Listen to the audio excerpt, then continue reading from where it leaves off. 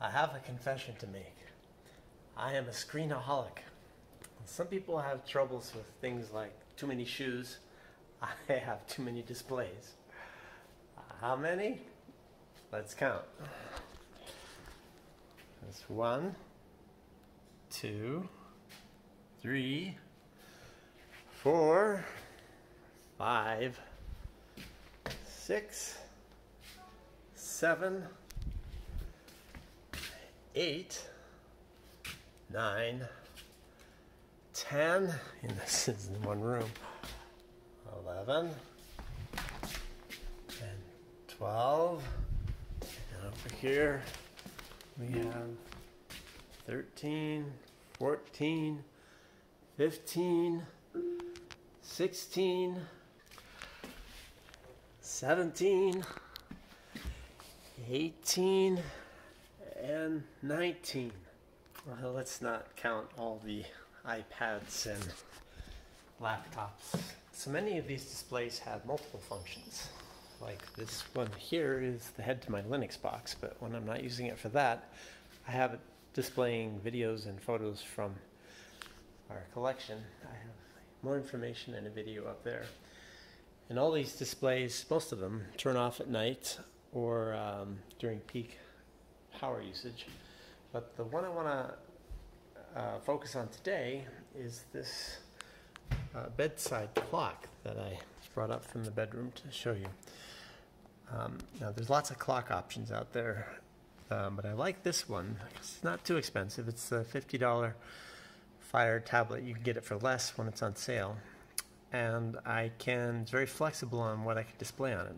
Or I can, my nighttime semi-blind state, I can make the font as big as I need. But also I can send other information from the house. Um, for example, here we have a bedroom um, upstairs and outdoor temperatures. That's, that's Alabama today. And the upstairs and downstairs thermostat current reading, uh, set point, and whether uh, the cooling is on or fan is on. And also we have speech. This is all sent from Node-RED and Home Assistant via MQTT. So for example, hey boo boo, where is Bruce? Bruce is at home. Bruce is at home. That gets pushed to the clock, and the latest speech is highlighted here. So let me take you back over to the computer, and I'll quickly show you how this HTML and JavaScript works.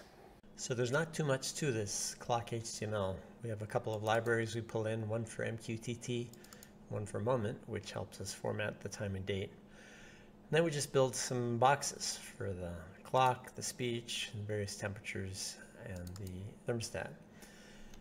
This is what the clock CSS file looks like. So we here's where we define it's a black and white clock, and we pick the font sizes that we want for the various fields. And this is the JavaScript.